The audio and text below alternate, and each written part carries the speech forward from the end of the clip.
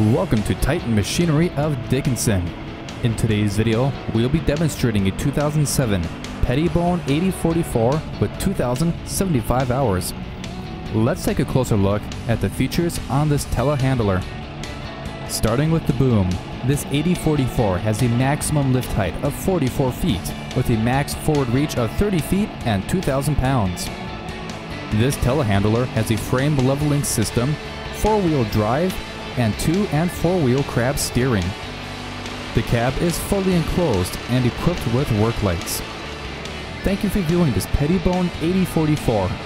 If you're interested in this telehandler and would like to contact our sales staff, give them a call at 701 227 5309. To view other available used equipment, check out dickinson.titanmachinery.com.